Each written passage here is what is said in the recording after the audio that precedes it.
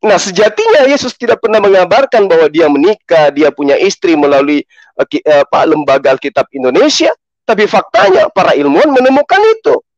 Di mana mereka menemukan manuskrip, mereka menemukan salinan kuno, mereka menemukan adanya uh, apa tulisan-tulisan kuno yang menerangkan di mana Yesus memanggil seorang wanita dengan panggilan istriku. Lalu kemudian bagaimana yang diceritakan oleh Adim dan Jonathan tadi, Jonathan? Bagaimana kitabnya orang Kristen yang ada hari ini mencerminkan sebuah adanya sebuah prosesi pernikahan ala Yahudi. Ini tidak bisa dipungkiri gitu loh. Jadi hal-hal yang kemudian menjadi acuan mereka hanya ego egoisme. Karena tidak mau Yesus itu menikah. Emang kenapa kalau Yesus itu menikah? Emang ada yang melanggar di situ? Oh tidak, tidak bisa. Tuhan itu tidak boleh tidak boleh menikah. Nah kalau Tuhan itu tidak boleh menikah, sementara dia manusia karena itulah Yesus mengajarkan, Bapak yang mengutus aku tidak bisa kau lihat, suara yang tidak bisa kau dengarkan. Karena itulah diajarkan bahwa Tuhan itu bukan manusia dan anak bukan anak manusia. Lalu kemudian ini saudara juga wajib untuk memiliki menguak Injil-Injil rahasia. Di sini juga terdapat literasi dan referensi bahwa Yesus Hamasiah menikah. Kemudian yang lebih penting adalah buku ini, saudaraku, Pernikahan Yesus. Ditulis oleh Maggie Whithouse. Yang menulis bukan orang Islam, jadi tidak ada intervensi, tidak ada kemudian kita mau mengobok-ngobok ajaran mereka. Ini adalah buku-buku mereka, orang-orang yang bukan beragama Islam. Pernikahan Yesus.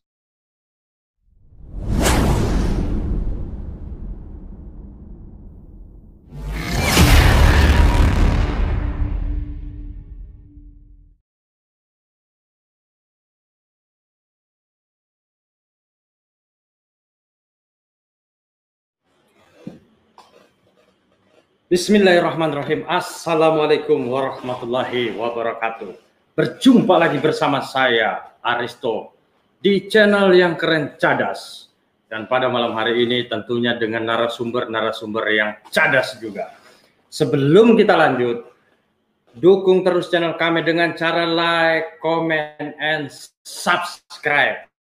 Nyalakan loncengnya agar teman-teman menerima notifikasi dari konten-konten cadas yang dihadirkan di Zulkifli M. Abbas Official, Evangelis Yonatan Nanda, kemudian eh, di G Media Channel.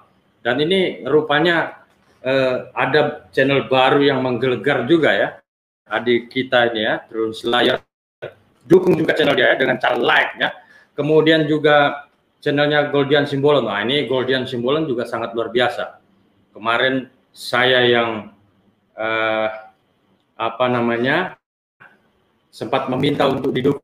Sekarang terbalik saya minta didukung karena rupanya eh, kalah tenar ya, G Media Channel kalah tenar begitu. Dan seperti biasa sahabat Ikhwan Villa semuanya di mana pun Anda berada. Pertama, saya doakan semua dalam keadaan sehat walafiat dan tidak kurang satu apa pun ya. Dan Alhamdulillah pandemi ini sudah mulai berangsur-angsur reda. Sehingga ini eh, kita doakan semua semoga pandemi ini reda-reda lalu selesai dan aktivitas kembali seperti biasa. Selawat dan salam kita hantarkan kepada Baginda Nabi besar Muhammad Rasulullah Sallallahu Alaihi Wasallam, kepada keluarganya, kepada para sahabatnya, dan tentunya Jos kepada para pengikutnya yang selalu setia berpegang teguh kepada segala sunnah-sunnahnya. Tidak perlu berlama-lama, saya akan tampilkan narasumber-narasumber kita yang cak yang cadas ya. Dan ini memang heboh ya uh, terkait tema ini. Pertama siapa dia? Iya. Assalamualaikum warahmatullahi wabarakatuh Jonathan Nanda. Masih kemiut itu merek Waalaikumsalam warahmatullahi wabarakatuh Bang Aristo.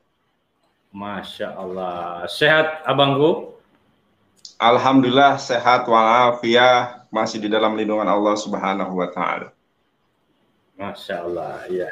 Jadi eh, tema ini saya lihat diangkat serentak wah, di banyak channel-channel apologet Kristiani akan melaporkan Yonatan Nandar telah menjustifikasi bahwa Yesus menikah. Wow, dan diangkat pada malam hari ini. Keren cadas.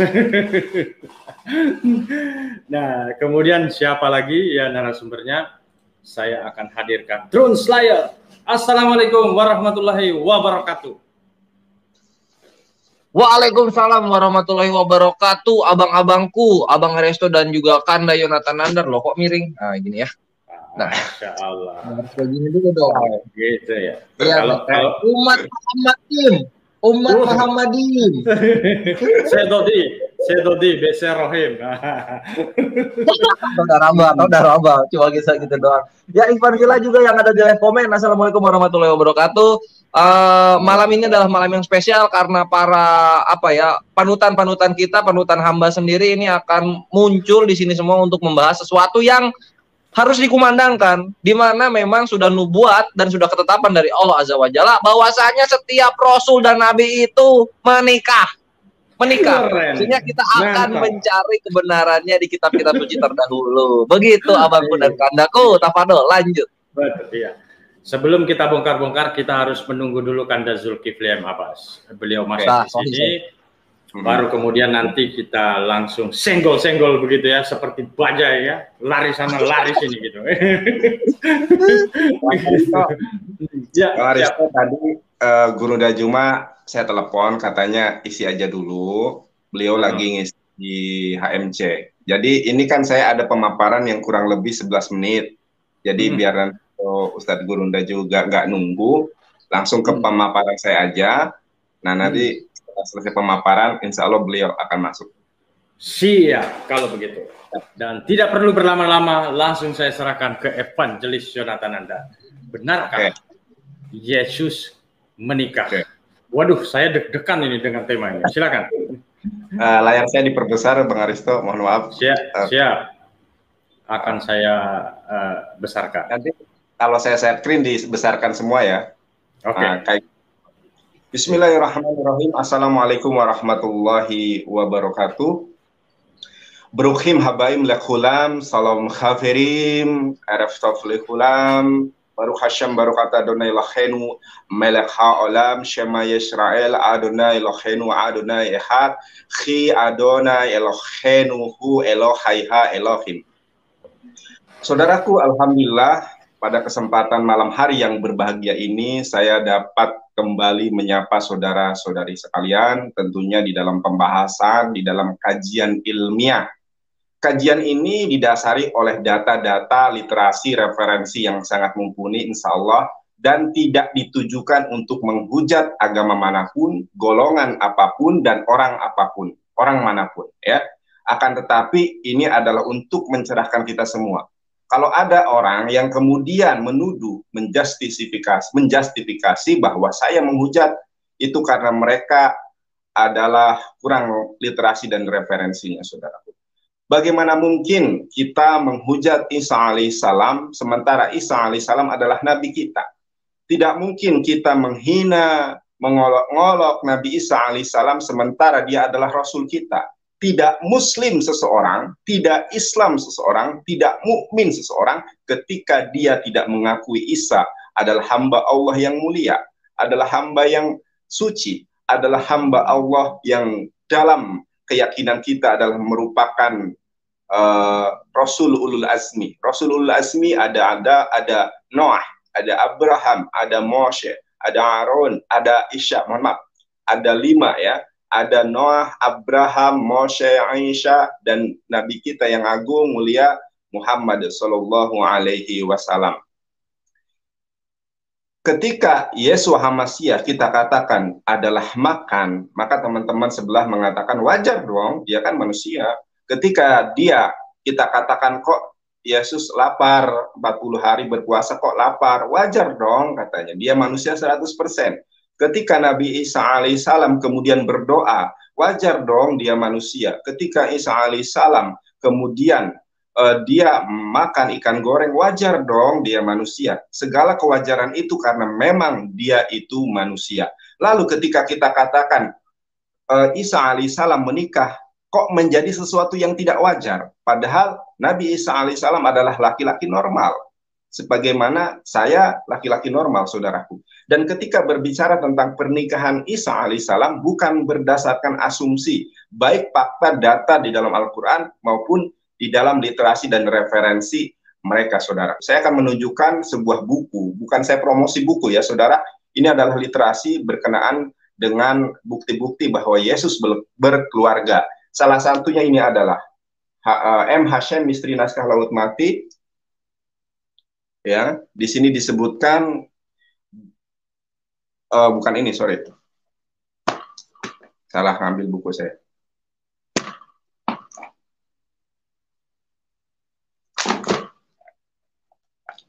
Yang ini adalah Mawar Mistik, ya. Ulasan Injil Maria Magdalena.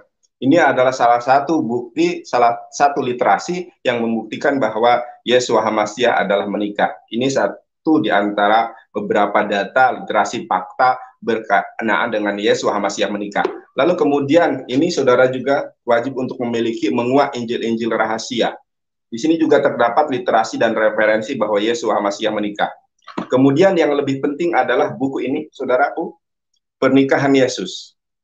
Ditulis oleh Maggie Whithouse. Yang menulis bukan orang Islam, jadi tidak ada intervensi, tidak ada kemudian kita mau mengobok-ngobok ajaran mereka.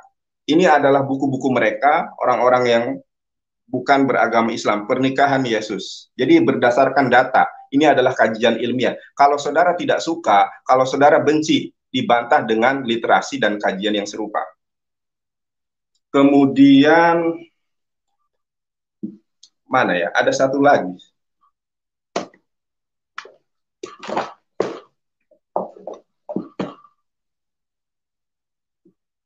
Sebentar. Ada satu buku lagi, saya lupa naruhnya di mana. Oh ya, sebentar teman, satu menit.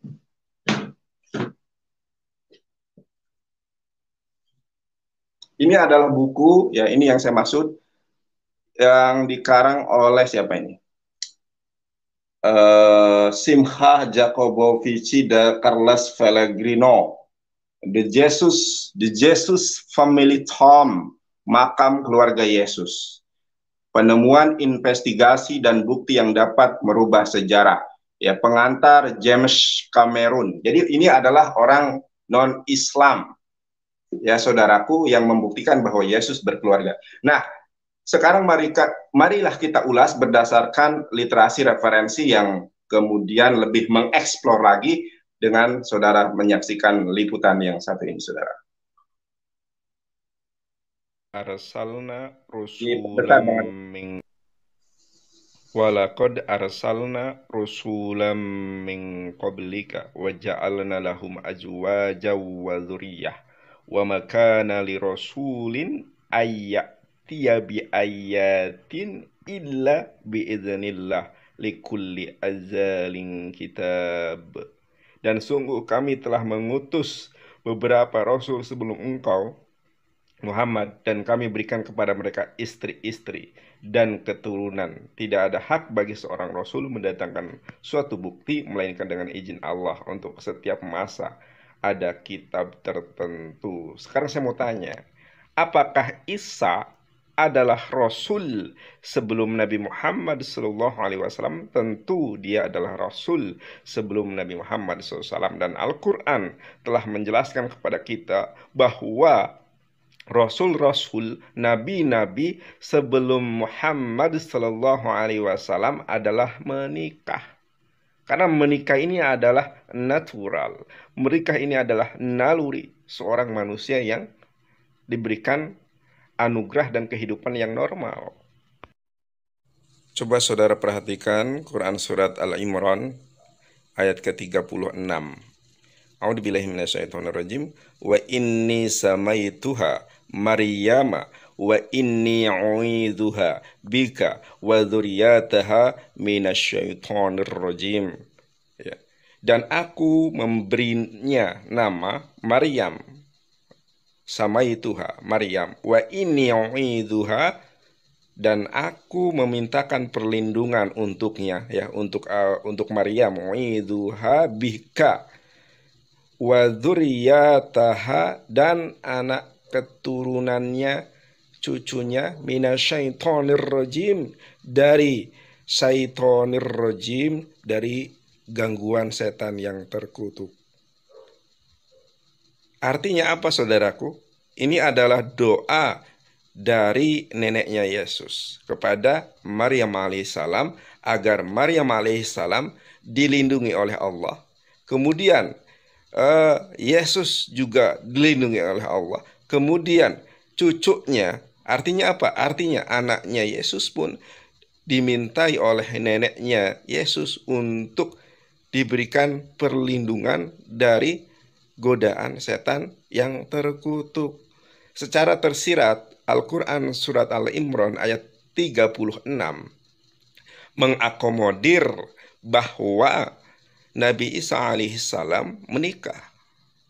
Oleh karenanya, nenek dari Isa alaihissalam, ibunda dari Maryam alaihissalam mendoakan kebaikan bagi Maryam, mendoakan kebaikan bagi Isa alaihissalam dan mendoakan kebaikan bagi anaknya Isa alaihissalam. Ini tidak terbantahkan lagi. Baik di dalam Quran Surat Al-A'rad ayat 38 maupun Quran Surat Al-Imran ayat ke-36 menyatakan secara tersirat bahwa Isa alaihissalam menikah. Buktinya adalah sebuah doa dari neneknya Isa alaihissalam dan nenek dari Isa alaihissalam ketika berdoa itu bukan hanya sekedar doa akan tetapi sebagai sebuah nubuah atas apa yang akan terjadi saudara. Sangat jelas sekali di sini bahwa Isa alaihissalam seorang manusia biasa yang beliau menikah yang beliau mempunyai anak. Wallahu alam bisawab Nah, ini adalah salah satu lit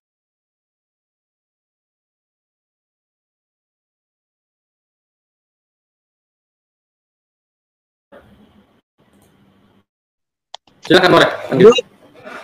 Masih ke mute. Ditampilkan lagi. Ditampilkan, ditampilkan lagi. Oh, oh, ditampilkan oh. lagi. Penting banget itu soalnya. Oke, siap. referensi mengenai fakta pernikahan Yesus Hamasiah, saudaraku. Jadi ketika kita berbicara tentang pernikahan Yesus bukan karena dasar kebencian. Bagaimana mungkin kita sebagai seorang muslim, sebagai seorang mukmin membenci nabi kita sendiri, menghina nabi kita sendiri. Yesus menikah adalah sesuatu yang lumrah. Di samping dia manusia, lalu dia juga adalah seorang Yahudi yang kemudian mengenal hukum tentang pernikahan yaitu kidusin. Saudara, ini judulnya adalah pernikahan Yesus ya, membuktikan kemungkinan bahwa Yesus beranak istri Maggie House with Maggie with House. Ini adalah pengarang dari buku pernikahan Yesus. Jadi sekali lagi teman-teman, kita membahas ini adalah dalam ranah kajian ilmiah. Tidak ada tendensi sebagai guru oleh orang-orang Yahudi lainnya. Jadi saudaraku, pernik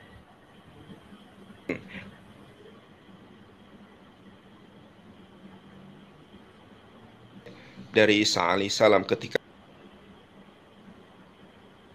memang di dalam Alkitab ya uh, ada yang buku Yesus menikah atau pernikahan Yesus disebutkan di sini ya Berbagai cabang Yudaisme memiliki penafsiran sendiri-sendiri baik terhadap Torah maupun Talmud. Tetapi satu hal yang disepakati oleh semua teks dan ajaran Yahudi adalah masalah perkawinan. Perkawinan dianggap penting bagi laki-laki maupun perempuan. Uraian mengenai Taurat menyatakan dengan jelas bahwa tidak lengkaplah laki-laki yang tidak menikah dan 2000 tahun yang lalu. Seandainya ini yang perlu digarisbawahi ya Seandainya Yesus dari Nazaret belum menikah menjelang umur 18 tahun, dia akan dianggap sebagai makhluk yang sangat aneh. Lebih buruk lagi, dia tidak akan sungguh-sungguh diterima sebagai guru oleh orang-orang Yahudi lainnya. Jadi saudaraku, pernikahan bagi rabi Yahudi adalah sebuah konsensus, sebuah kesepakatan sebagai para duain, sebuah kewajiban syarat formil, syarat material telah terpenuhi, maka Yesus wajib menikah. Nah, oleh karena itu saudaraku, kita mengenal betul bahwa di dalam uh, kekristenan itu ada yang disebut dengan the losing years, tahun-tahun yang hilang. dari umur 12 tahun sampai dengan 30 tahun kisah Yesus menghilang. Mungkin karena syarat material, syarat formil bahwa Yesus sebagai seorang Yahudi harus menikah adalah salah satu faktor kenapa dari usia 12 tahun sampai 30 tahun cerita Yesus tidak ada saudaraku. Kemudian di buku ini juga dikatakan tetapi tidak ada bukti Alkitabiah mana pun yang mengatakan bahwa dia yaitu Yesus tidak menikah. Holy Grail karya Michael Bagen, Richard Leigh, dan Henry Lincoln. Buku ini merupakan memperkenalkan masyarakat umum pada gagasan bahwa Holy Grail, cawan suci bukanlah cawan yang digunakan pada perjamuan terakhir, melainkan rahim Maria Magdalena dan keturunan Yesus. Jadi berbicara tentang Yesus menikah, Yesus punya anak yang menggagas kali pertama adalah para fakar Alkitab, adalah orang-orang yang beragama bukan Islam, saudaraku. Dan ini sebagai kajian ilmiah, literasi dan referensi sangat jelas disebutkan di sini, saudara. Nah, di dalam buku pernikahan Yesus juga disebutkan bahwa pernikahan merupakan sebuah keharusan ya, para bukan fardu kifayah, fardu ain, sebuah keharusan bagi bangsa Yahudi pada zaman Yesus ini adalah sebuah kearifan lokal, ini adalah sebuah hukum yang ada pada saat itu, saudara. Dan ini tertera, tertulis di dalam buku ini, saudara. Memang terdapat di dalam Injil Filipus dan apa kau ingat dari apa yang pernah disampaikannya kepadamu suatu hal yang kami belum tentu mendengar sebelumnya. Artinya apa? Ada hubungan yang sangat dekat antara Yesus dan Maria Magdalena. Nah, mengenai Yesus menikah, saudaraku, dengan Maria Magdalena, ditemukan dalam salah satu bagian Injil Filipus. Ini sering dipakai sebagai dasar bagi gagasan seperti ini. Persoalan yang sedang kita hadapi adalah sebuah penafsiran atas tindakan Yesus yang mencium mulut Maria Magdalena. Jadi ketika saya mengatakan mohon maaf, mohon maaf yang sebesar-besarnya. Ketika saya mengatakan Yesus adalah cipoan, memang terdapat di dalam Injil Filipus. Dan apa salahnya? Ini hubungan yang halal suami istri. Jangankan cipoan atau ciuman, orang berhubungan suami istri saja sah halal. Apa yang dipermasalahkan? Itu. Ini literasi dan referensi sangat jelas. Kita tidak menghujat ini adalah sesuatu yang normal begitu ya. Kecuali kalau Bang Aristo? Siap. Sudah. Oke. Sebetulnya Mas. panjang sebetulnya ya. Jadi memang betul bahwa pernikahan Yesus ini ada literasi dan referensinya. Bahkan ketika Maria Magdalena itu disium oleh Yesus bibirnya atau yang yeah. kita sebut cikuan. Itu ada, bukan kita menghina, memang ada dan wajar suatu kelumrahan seorang suami mencium istrinya. Apa yang Masya. dipermasalahkan? Iya. Jadi kalau kita berbicara tentang pernikahan Yesus, literasi referensi banyak dan ini adalah kajian ilmiah. Masya Allah. Tadi sebetulnya videonya agak panjang, cuma saya nggak enak. Ada sini ada guru-guru saya, ada Gurunda Aristo, ada Gurunda Juma, ada uh, uh, Aku murid, aku murid, jangan diguruin. Lanjut. Masya Allah. Juma, Burunda Juma. Waalaikumsalam warahmatullahi wabarakatuh. Masya Allah. Ini Pak kumpul semua nih laki-laki normal semua kayaknya nih. Ya. Luar biasa. Normal ya. semua ini. 100% manusia kayaknya semua ini ya. Alhamdulillah. Alhamdulillah. Alhamdulillah. Alhamdulillah. Gak lebih dan dilebih-lebihkan Gurunda. Apa kabar Kang Dazul? Sehat, sehat. Cuman Masya. ngantuk itu selalu mengintai. Masya Allah. Iya, siap. Luar biasa. Wa wajar lah kita manusia diintai sama rasa ngantuk ya. Iya. Sehebat-hebatnya seorang manusia, dia tidak akan mampu melawan rasa ngantuk itu. Termasuk oknum yang dituhankan. Tidak bisa lawan ngantuk. Tidur dia. Oke, lanjut. Ah, ah, sebelum nanti Guru Gurunda menyampaikan, saya ingin meralat sedikit ya bahwa kalau yeah. untuk perempuan bukan alaihi salam, tetapi alaiha salam. Tadi saya mohon. ya, Bunda. Iya, iya, iya. Ya, tentang pernikahan Yesus.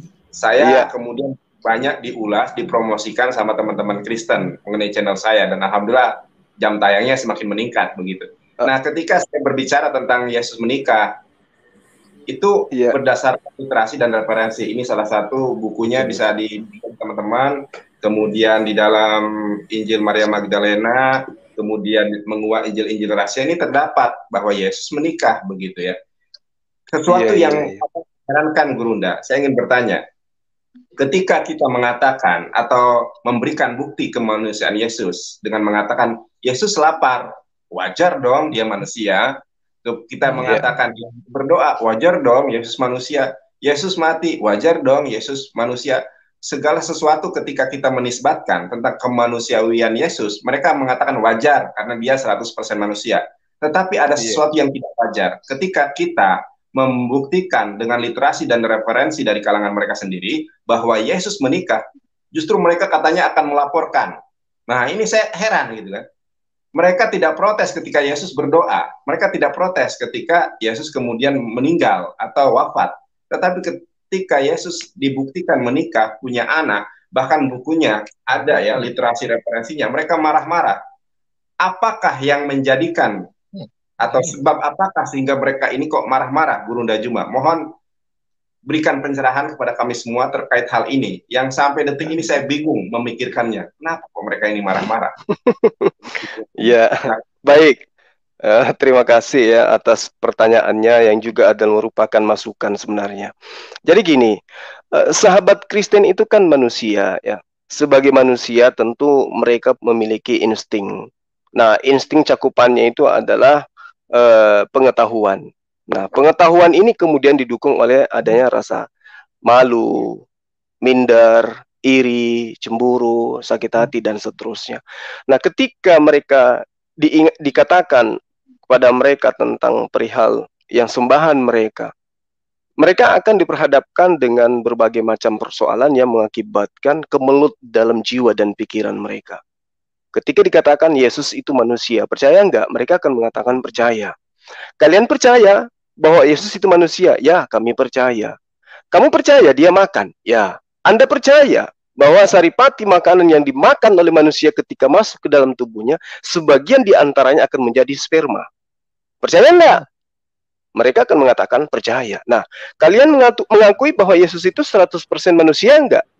Iya, tapi dia juga 100% Tuhan. Tunggu dulu, manusianya dulu kita bahas.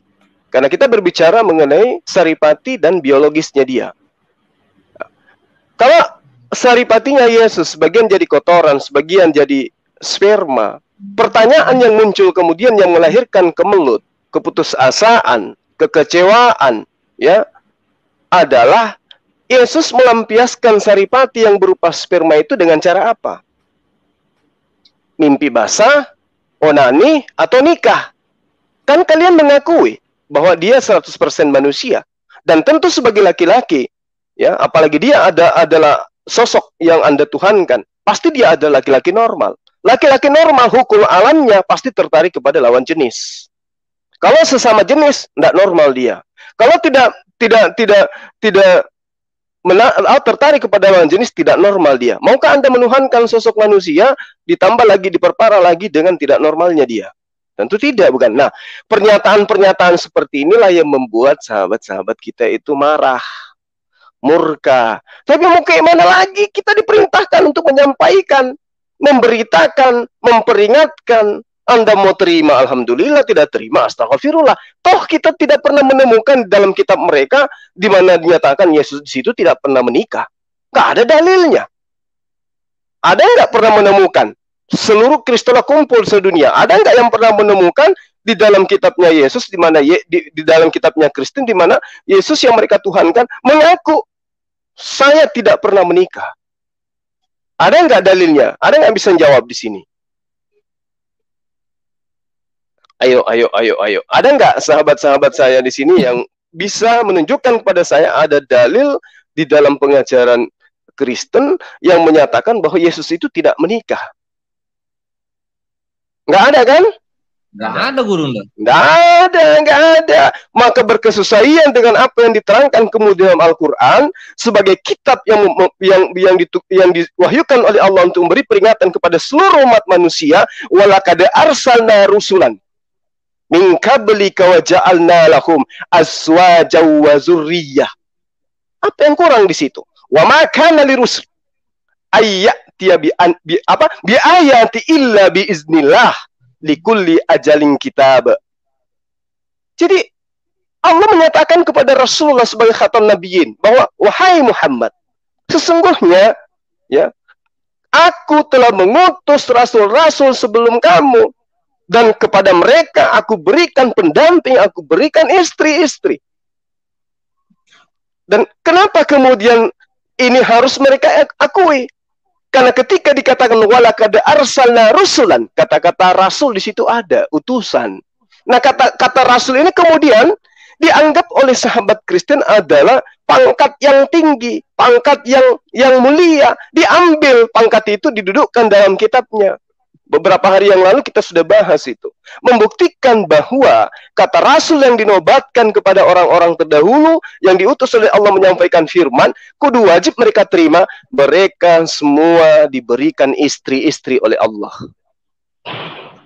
Jadi tidak ada tidak ada hal yang yang kemudian mereka jadikan acuan untuk menyatakan Yesus itu tidak menikah. Sama halnya di dalam kitab mereka tidak ada pengajaran tentang Yesus mengajarkan Trinitas atau Tritunggal. Tapi mereka mengimani itu saat ini. Yesus tidak pernah mengajarkan itu. Nah, sejatinya Yesus tidak pernah mengabarkan bahwa dia menikah, dia punya istri melalui uh, Pak Lembaga Alkitab Indonesia, tapi faktanya para ilmuwan menemukan itu. Di mana mereka menemukan manuskrip, mereka menemukan salinan kuno, mereka menemukan adanya uh, apa tulisan-tulisan kuno yang menerangkan di mana Yesus memanggil seorang wanita dengan panggilan istriku. Lalu kemudian bagaimana yang diceritakan oleh Adim dan Jonathan tadi, Jonathan? Bagaimana kitab orang Kristen yang ada hari ini mencerminkan sebuah adanya sebuah prosesi pernikahan ala Yahudi. Ini tidak bisa dipungkiri gitu loh. Jadi hal-hal yang kemudian menjadi acuan mereka hanya ego egoisme. Karena tidak mau Yesus itu menikah. Emang kenapa kalau Yesus itu menikah? Emang ada yang melanggar di situ? Oh tidak, tidak bisa. Tuhan itu tidak boleh tidak boleh menikah. Nah kalau Tuhan itu tidak boleh menikah, sementara dia manusia karena itulah Yesus mengajarkan, Bapak yang mengutus aku tidak bisa kau lihat, suara yang tidak bisa kau dengarkan. Karena itulah diajarkan bahwa Tuhan itu bukan manusia dan anak bukan anak manusia. Sadarilah itu. Kalau Anda ingin mengatakan Tuhan Anda menjelma menjadi manusia, maka sejatinya soyokianya Anda kudu sadar, Anda kudu ikhlas menerima sebagai manusia. Yesus sah-sah saja menikah. Katanya 100% manusia. Kalau 100% manusia, ya wajar dong kalau dia nikah. Nah, itu secara secara secara data. Sekarang kita analisa akal.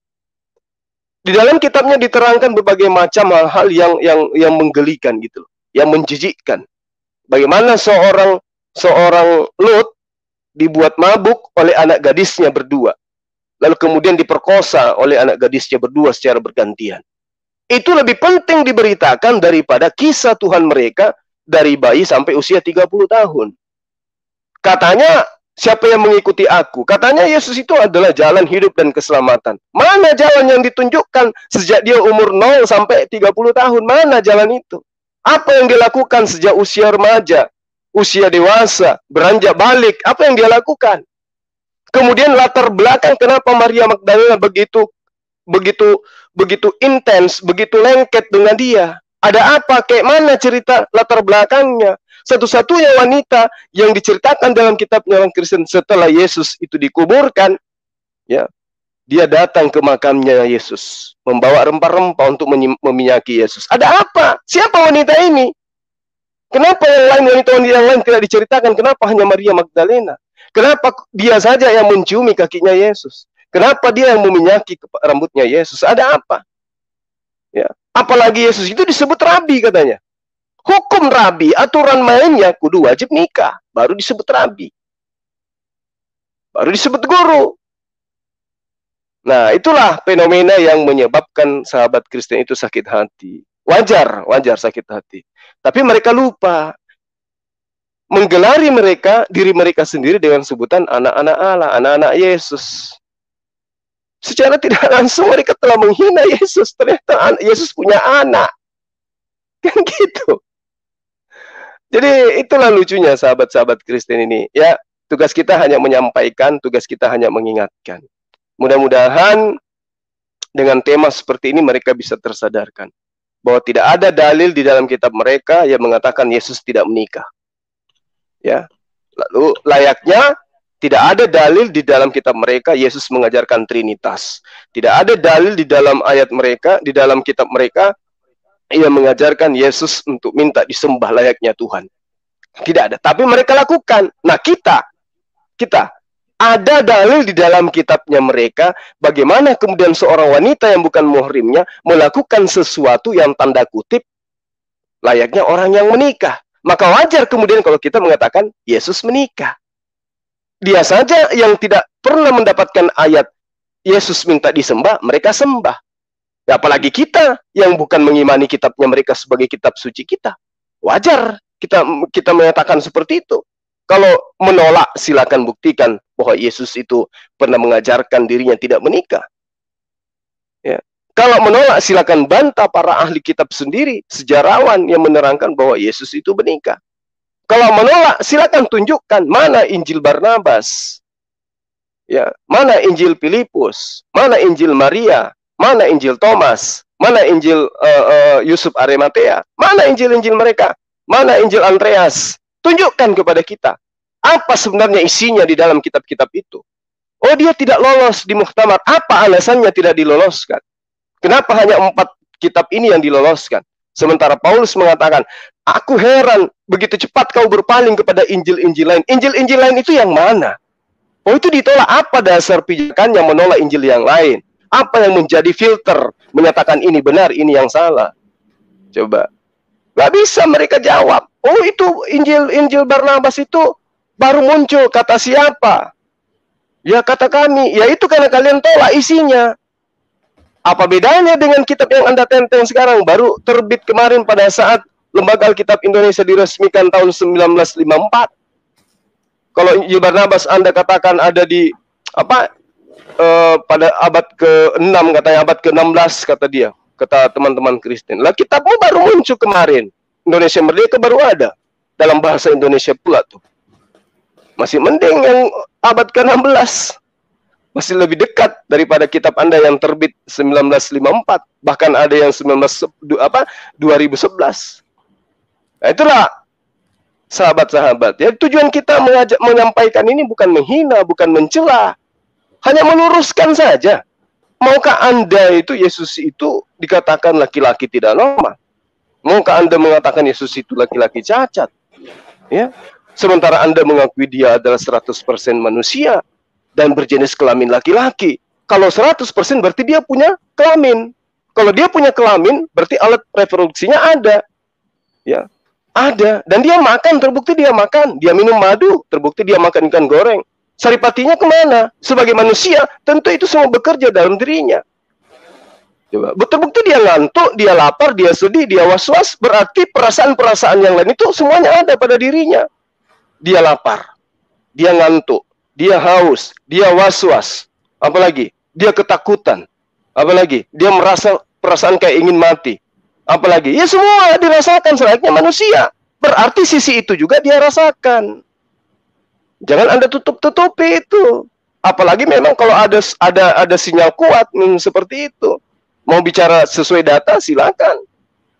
Ada, kita punya data untuk itu menerangkan itu. Meski belum final bahwa Yesus 100% menikah. Tapi yang pasti yang perlu disadari oleh sahabat Kristen, Yesus 100% manusia. Itu dulu. Yesus 100% laki-laki normal. Itu dulu. Dia balik, dia dewasa. Ya, tentu ada ketertarikan terhadap lawan jenis. Terbukti dia tertarik terhadap makanan, tertarik terhadap tidur, tempat tidur dan seterusnya. Saya kira begitu Adinda, para sahabat yang ada di sini ya. Sementara seperti itu ya mudah-mudahan apa yang saya sampaikan ini ya bisa dikembangkan kemudian untuk kita buktikan bahwa apa yang kita sampaikan bukanlah hujat, bukan hinaan, bukan cacian. Hanya sebagai bahan renungan buat sahabat-sahabat Kristen. Demikian sementara, silakan. Luar biasa. Ya. Memang kalau ada Kanda Zulkifli ini memang keren, cadas. Jadi masalahnya lanjut lanjut lanjut. Iya. Masalahnya apa? Menikah itu kan sesuatu yang baik, sunnah di dalam Islam bahkan sunnahnya mendekati wajib dan syarat menjadi seorang rabi itu harus menikah dan salah satu penggenap penggenapan hukum Taurat harus menikah mantap sekali. Dan di sini sudah ada juga pendeta Abed Nego. Wah. Mas. Oh. oh. pendeta mantap nih materinya. Katakan sedikit aja ya. Silakan. Ya. di dalam Talmud ini ada nih ya. Talmud. Bahwa seorang laki-laki pertama-tama harus mempelajari Taurat dan kemudian menikah. Sehingga ketika Seth Horis telah menjadi pusat studi yang terkenal uh, mana ini para guru mengajarkan bahwa usia ideal bagi laki-laki untuk menikah adalah 18 tahun bila dia diyakini mampu menjaga kemudian pikirannya. Kemudian di dalam Kidusin 29b ayat 30 Rabi Hizda menyatakan dia sebagai rabi yang lebih tinggi daripada rabi-rabi yang lain karena dia telah menikah pada usia 16 tahun dan dia menanamkan bahwa dirinya bahkan akan menjadi lebih baik bila menikah pada usia 14 tahun karena demikian dia akan benar-benar bebas dari pikiran-pikiran kotor. Artinya apa? Memang di dalam Talmud mewajibkan orang-orang Yahudi terutama rabi pengajar itu diwajibkan menikah kisaran umur 14 sampai 18 tahun. Oleh karenanya kenapa usia dari 12 tahun sampai 30 tahun ada yang namanya the losing years, tahun-tahun yang hilang yang mana tidak ada cerita tentang Yesus. Ternyata memang salah satu kewajiban atau pardu ain dari seorang rabi itu adalah menikah. Ini ada di dalam Kedusin ya, Kedusin 29B sampai dengan 30A. Terima kasih. Silahkan dilanjut ada ahi kita ini anak muda cerdas, Bang Golian. Goldian. Nah. Assalamualaikum warahmatullahi wabarakatuh. Shalom, pendeta. Oke, terima kasih. Waalaikumsalam warahmatullahi wabarakatuh. Assalamualaikum warahmatullahi wabarakatuh. Kanda Jim, Kanda Zuma, Penatua Turun Slayer, Evangelis Jonathan Nandar. Jumpa lagi nih dengan hamba pendeta Abednego ya. Nah, ini materi yang kita usung ini sangat ngeri-ngeri sedap ya. Boleh ya hamba langsung memaparkan? Langsung, senggol. Yang pertama hamba akan memaparkan logika prematur dari teman-teman Oten ya yang sangat uh, gabrul atau stupidity. Pertama, mereka meyakini duinatur Yesus, yakni mereka percaya bahwa Yesus itu 100% Tuhan dan 100% manusia. Ini kita akutin alurnya tapi kita tidak lagi berbicara 100% keilahian Yesus. Tapi kita bicara 100% kemanusiaan Yesus. Ketika ada lontaran-lontaran, ada hujah-hujah dari muslim maupun dari orang Kristen sendiri mengatakan Yesus itu menikah, apakah itu suatu penghinaan? Silakan Oten, apakah itu suatu penghinaan? Kalau kalian mengatakan itu suatu penghinaan, berarti ada yang cacat dalam uh, isi kepala kau. Jadi perlu di ronsen uh, saya rasa isi kepala kau itu seperti uh, besi yang udah rusak harus dibawa ke montir gitu. Karena apa? Ketika kalian mengatakan bahwa 100% manusia itu dinyatakan menikah itu sebuah hujatan, sebuah cacian, berarti Anda itu sangat uh, nonsen ya para sahabat. Jadi wajar saja ketika kalian mempercayai bahwa Yesus itu adalah 100% Tuhan, terus 100% manusia dan Yesus melakukan seperti selayaknya manusia biasa, itu adalah hal yang wajar. Tidak lain dan tidak bukan adalah Yesus menikah. Ya, jadi itu bukan bukanlah sebuah uh, hinaan ketika kita mengatakan Yesus menikah. Karena yang pertama perlu digarisbawahi di sini kalian meyakini duinatur Yesus bahwa Yesus itu juga 100% manusia. Jadi jangan membangun sebuah uh, premis yang sangat kacau dan tentunya berkonsekuensi logis nanti ada stigma yang muncul dari kami bahwa logika Anda itu serba stromen. Itu yang pertama. Kecuali kalian sudah tidak lagi mempercayai sisi kemanusiaan Yesus, Terus ketika kami mengatakan Yesus itu menikah, maka Anda boleh saja mengatakan kita menghujat atau uh, apalah. Karena apa? Tidak mungkin ketika ada Tuhan yang 100% tanpa embel-embel 100% manusia itu menikah. Dan itu adalah sebuah hujatan yang nyata. Itu uh, dalil yang pertama. Sekarang pendeta Abednego ingin menuju ke bukti ya agar uh, isi kepala teman-teman Kristen yang tak seberapa dan tentunya penangkapan-penangkapan dari hasil materi yang kita paparkan itu sangat lambat masuk ke kepala mereka dan tentunya lebih lambat daripada kura-kura berjalan ya. Izin share screen hamba. Siap.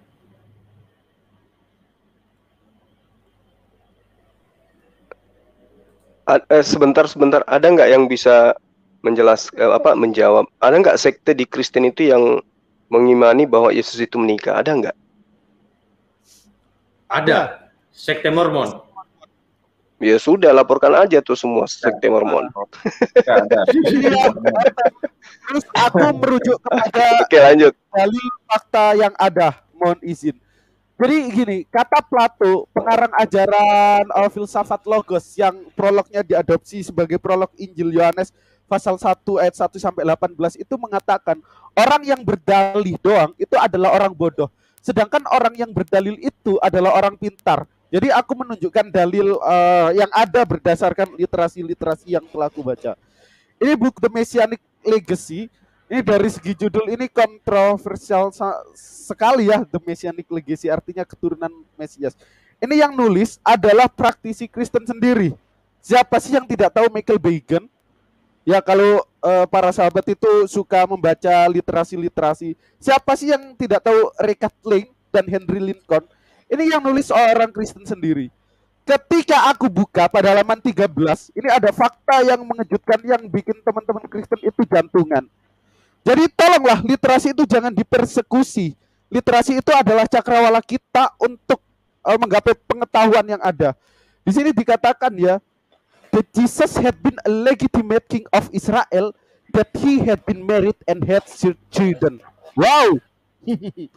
Bahwa Yesus yang telah dilegitimasi menjadi raja daripada Israel, dia itu telah kawin bahasa Bekasinya dan dia itu telah memiliki anak.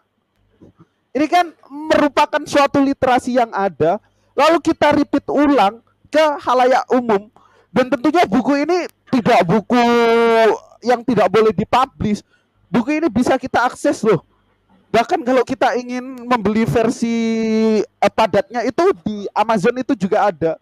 Apakah ketika kita membicarakan literasi, terus kita menyampaikannya ke halayak umum, apakah itu suatu penghinaan? Tentu saja tidak. Jadi tolonglah eh, pola pikir Anda itu yang tentunya tidak seberapa itu di upgrade ya agar tidak menjadi orang yang pandir itu.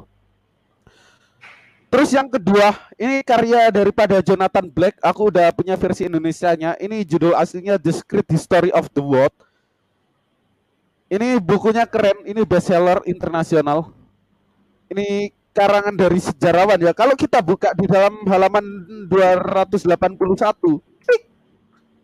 apa tajuk yang diusung di sini? Wow, Dewa Matahari kembali, dua kanak-kanak Jesus, misi jenaka, penyalipan di Amerika Selatan, dan pernikahan mistis Maria Magdalena. Nah, ketika kalian membaca bab ini, kalian akan menemukan substansi yang sangat luar biasa. Yang pertama, tentang Dewa Matahari kembali. Jadi, Jonathan Black menjelaskan bahwa Yesus itu adalah sosok daripada Bani Israel yang ceritanya dinarasikan di dalam gospel dan cerita yang di dalam gospel itu merupakan bentuk daur ulang dari dewa-dewa pagan terdahulu. Ini contoh eh, mana ya bagian yang ingin ku garis bawah ya.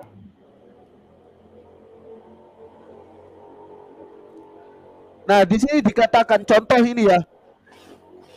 Sejatinya kehidupan Yesus Kristus ketika ia telah turun untuk kita mungkin akan seperti sebuah tambal sulam. Wow. Jadi cerita Yesus yang dinarasikan di dalam gospel itu hanyalah cerita yang tambal sulam atau cerita daur ulang. Kejadian dalam kehidupan mereka yang datang sebelum dirinya. Terlahir sebagai seorang tukang kayu dari seorang perawan. Seperti Krishna, lahir pada 25 Desember. Seperti Mitras ditandai dengan sebuah bintang di timur. Seperti Horus berjalan di atas air dan memberi makan 5000 orang dari sebuah keranjang kecil. Seperti Buddha melakukan penyembuhan ajaib. Seperti Vitagor bangkit dari kematian. Seperti Elisa dibunuh di pohon. Seperti Adonis. Jadi yang dinarasikan oleh Jonathan Black di dalam karya ilmiahnya yakni The Story of the World menegaskan bahwa Yesus itu adalah cerita yang nantinya cerita itu masuk ke dalam gospel dan cerita itu tidak ada bedanya dengan cerita dewa-dewa pagan terdahulu. Oh, ini kan merupakan suatu fakta. Terus ketika kita menyebarkan fakta, kalian sakit hati gitu. Itu merupakan suatu keanehan ya. Jadi kalau bicara tentang iman, ya silahkan. Itu iman kalian. Bahwa Yesus itu Tuhan. Tapi kita nggak peduli nggak apa-apa. Tapi sejatinya apakah kita berhak mengkaji iman kalian? Apakah kita berhak mengaji fakta-fakta yang ada di uh, kalangan kalian? Tentu saja berhak. Dalil yang pertama agama anda itu adalah agama siar yang secara masif dan secara produktif terus disiarkan kepada orang-orang yang non Kristen jadi telah ada legitimasi secara de facto bahwa Anda itu memperbolehkan orang yang non-Kristen untuk mengkaji kitab Anda. Karena apa? Karena agama Anda itu bukanlah agama homogen, bukan agama untuk kalangan sendiri. Jadi agama Anda terus Anda uh, perluas, Anda sebarkan ke halayak umum ke orang-orang yang non-Kristen dan tentunya orang non-Kristen itu berhak menguji apakah benar yang Anda sampaikan, embel-embel kasih yang Anda sampaikan, juru selamat tentang Yesus yang Anda sampaikan kepada kami itu apakah benar sesuai realita? Kita meng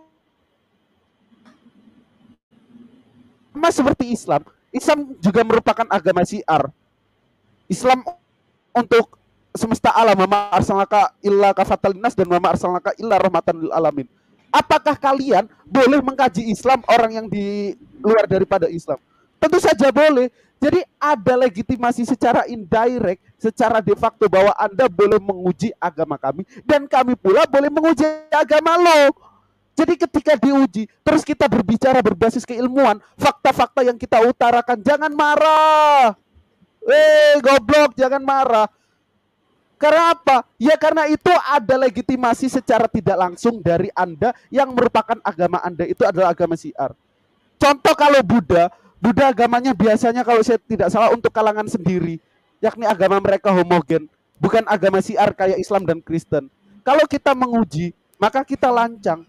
Oleh karena itu kita harus izin dulu biar mendapatkan legalitas dari mereka ketika kita berbicara aspek Buddha. Hindu pula, Konghucu pula, apakah agama mereka agama siar? Tidak. Tetapi kita berjalan bersama-sama untuk menyiarkan agama kita dan tentunya kita saling hit uh, take and give untuk sama-sama menguji daripada kedua kebenaran itu. Terima kasih. Itu dulu. Ya, luar biasa. Semakin malam semakin panas ini. iya. Nanti teman-teman yang menyimpulkan ya. Jadi ya terserah kami dong. Kami mengimani Nabi Isa dan Yesus Kristus adalah satu pribadi. Kalau kitab suci, kitab suci kami meng, apa, memberi identifikasi bahwa Yesus itu menikah, what's your problem, guys? Silakan, eh, di sini ada Ustadz Unggul, tapi saya kasih waktu dulu ke Trun Slayer. Ini anak-anak muda yang cadas ini. Silakan Trun Slayer. Aduh. Masih di mute. Abangku malah ngasih waktu padaku bahasannya yang begini lagi. Ini tritung-tritung kasihan nanti yang di live komen loh. Ini lagi gitu. aduh malam akbar ini. Kasihan kasihan. Cuma karena dipaksa ya gimana ya? Ya udah deh, ini share dulu deh, share link dulu. Bang Ariesto ya. 051. 051. Eh kok salah 052 Bang Ariesto. Mana nih? Eh uh, ya sambil nunggu ya sambil nunggu. Jadi begini nih. Tritung sini nggak tahu gitu. Kalau siapa namanya? Yesus ini punya keturunan loh. Keturunan yang nanti nasabnya ini nyambung ke Arthur. Bayangin loh. Kaget nggak kalian? Kaget nggak? Nggak percaya? Gini nih, Ivan Villa dan Tritung sekalian silahkan uh, type di Google Jesus Descendants. D E S C E N D A N T S atau keturunan-keturunan Yesus. Nanti itu keluar nasabnya silsilahnya sampai Raja Arthur Inggris. Buar meledak kalian Tritung. Ya ini nih makanya punya teknologi, ada HP, ada Google, koran, TV tabung. Kenapa nggak kalian pakai gitu? Sehingga kalian ini keterbelakangan mengenai sejarah yang sudah berkembang di Eropa sana, Tritungs. Kalau misalnya kalian paham, pas Muslim ngomong kalian nggak akan terguncang. Kandayonat dengan data-datanya, Gurunda Zuma dengan logikanya, tambah lagi Pak Pendeta Abednego, tambah lagi Bang Ariesto coba nadanya berapi-rapi. Apa kalian nggak ini jadinya? Apa kalian nggak nggak apa ya namanya nggak aneh dengan Tuhannya kalian begitu? Tuhan kalian menikah loh. Kalian mengikuti sunahnya Tuhan kalian menikah juga kan? Ya bagus lah. Jadi jangan terguncang ketika Muslim membahas mengenai pernikahan para rasul-rasul dan nabi-nabi kami yang kebetulan Isa dan Yesus ini mirip tapi jalurnya apa ya? Ya, nabi yang tertukar gitu deh. nah, terus begini ya. Lanjut lagi. Kadang apa? Eh, salah satunya itu Tritungs nih bilang bahwa pengurapan itu terjadi gitu. Pengurapan. Maksudnya gimana? Jadi pengurapan yang diminyaki itu oleh wanita pendosa dibilang itu adalah pengurapan Mesias. Gak gitu ganteng. Itu yang dipakai ngurapnya minyak narwasto. Itu minyak minyak pernikahan ya Gurunda eh Gurunda Kanda ya? Iya betul. Yang pengurapan itu ya? Ya betul ya. betul. Di dalam kudusin itu ada. Itu harus menggunakan Aduh, minyak itu. bahaya bahaya. Malah berbalik bumerang buat kalian loh. Karena sesungguhnya yang namanya minyak urapan kudus itu nggak hanya satu bahan. Apalagi bahannya ngambil dari Narwastu sana. Tempatnya di India itu. Minyak Narwastu itu datangnya dari India. Minyak urapan kudus itu ingredientsnya berbeda lagi Tritung. Silahkan lihat di keluaran 30 ayat 22 sampai 25. Tuh nanti ada kayu manis, ada kalasia, ada rempah mur, ada apa lagi? E, minyak zaitun itu dicampur dengan sikal yang kudus kemudian itu baru dipakai pengurapan. Yang ngurapnya pun nggak boleh cewek. Harus orang-orang yang dulunya sudah pernah diurapi. Siapa mereka? Imam raja dan nabi. Lah ini wanita pendosa ngurapin. Berarti berarti berarti pengurapan ini adalah pengurapan prosesi pernikahan kayak gitu Tritung. Jadi ya inilah selamat datang di kebenaran, jangan lunglai, jangan terguncang karena memang kenyataannya begitu. Data-datanya udah ada. Terus nanti di Google juga ditampilin tuh silsilah-silsilah Yesus sampai ke Raja Arthur. Terus minyak yang digunakan juga minyak narwastu, bukan minyak urapan kudus. Terus kalian mau apa lagi gue tanya? Kalian mau apa lagi? Mau apa lagi? Dendam, iya. Dendam sama muslim. Kasihan dikasih edukasi kok malah ngedumel. Kok malah menghujat dikasih edukasi. Kalah dong kalau kayak gitu caranya Tritungs. Udah terima aja Yesus itu menikah. Yesus menikah. Data-datanya sudah ditampilkan oleh Kandayonat. Kalian imani saja. Ya kalau misalnya kalian tidak mengimani, mungkin generasi-generasi kalian berikutnya mulai mengimani gitu kan. Contoh-contoh nih perubahan geo apa ya perubahan keimanan dari kalian itu contohnya kayak begini. Dulu kalian itu terguncang kalau misalnya Yesus dibilang Tuhan. Cuman sekarang kalian udah nggak terguncang lagi. Kenapa nggak terguncang? Karena buat kalian Tuhan itu bisa jadi Tuhan juga. Ah, kan gitu kan? Iya, jadi tenang aja. Nanti uh, keimanan kalian itu akan berubah-ubah sendirinya. Cuman untuk yang sekarang ya selamat terguncang karena memang data-data sudah menunjukkan bahwa Yesus itu menikah. Dan kalau misalnya kita lihat ada satu orang ya yang cukup frontal untuk mengatakan itu dengan bangga yaitu adalah uh, Donald Watkins. Yes, Donald Watkins. Donald Watkins dia adalah seorang pengacara dan juga seorang seorang jurnalis dan dia mengumpulkan data-data untuk menyampaikan pendapatnya mengenai pernikahan Yesus ini. Itu kalian bisa lihat sendiri di webnya. Kemudian nanti di dailystar.co.uk juga menyampaikan hal tersebut, Ritungs, gitu. Jadi gunakanlah handphone dengan sebaik-baiknya. karena dari sanalah kalian bisa menemukan kebenaran itu kan kan kalian suka ngomong ya sekarang zaman digital ini hadis-hadisnya silakan dilihat aja. Lah kalian bahas hadis dapatnya dari web-webnya muslim. Terus bilang kita kaget kan lawak Yunani namanya itu. Nggak begitu Tritus menggunakan apa teknologi digital ini. Gunakan data-data apa namanya uh, gunakan website-website tersebut dengan objektif kalau misalnya kalian dapat data dari muslim ya berarti muslim udah paham duluan daripada kalian berbeda dengan pernikahan Yesus yang dapatnya dari para skuler-skuler liberal menggunakan data-data objektif gitu Beda ini. Makanya gunakan dunia digital dengan baik. Karena nantinya insya Allah kebenaran akan menyeruak ke dalam logika dan batin kalian sehingga kalian dijabah oleh hidayah Allah Azza wa Jalla lalu kalian berhijrah kepada Islam. Insya Allah, insya Allah. Baik yang menghujat maupun yang uh, awam tafadol. Islam mengundang kalian semua untuk menerima kebenaran yang hakiki ini. Karena pernikahan itu sesungguhnya suci pernikahan itu sesungguhnya suci. Nah, kalau kalian mengagungkan pernikahan yang seorang-seorang, Islam mengutamakan itu. Dan tidak sampai situ juga, dalam Islam pernikahan ini langsung dipersatukan oleh Allah Azza wa Jalla. Kenapa bisa begitu? Karena Rasulnya sendiri yang memberikan pemahaman mengenai tata cara apa itu yang nikah, apa itu yang zina gitu. Yesus kalian yang cuma tiga tahun di bumi kagak ada ngajarin yang kayak gitu-gitu.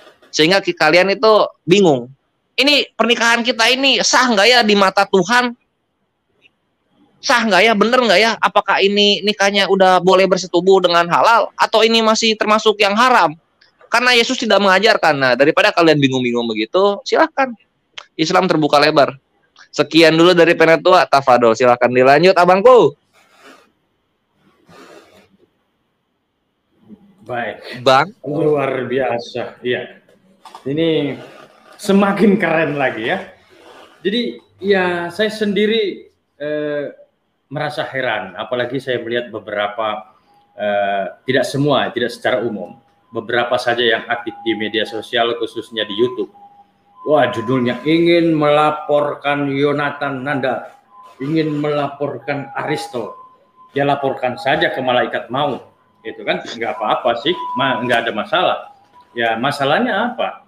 Wong menikah sesuatu yang baik, sesuatu yang halal. Saya tahan dulu, saya langsung sapa. Ustadz Unggul Sudrajat. Assalamualaikum warahmatullahi wabarakatuh, Ustadz Unggul Sudrajat.